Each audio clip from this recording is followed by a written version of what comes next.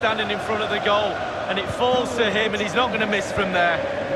So they restart the game and only one team in it.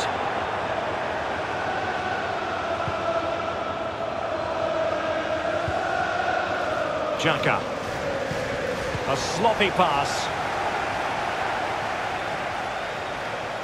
Is this the moment? Son has put it away, a goal! He's just so cool in front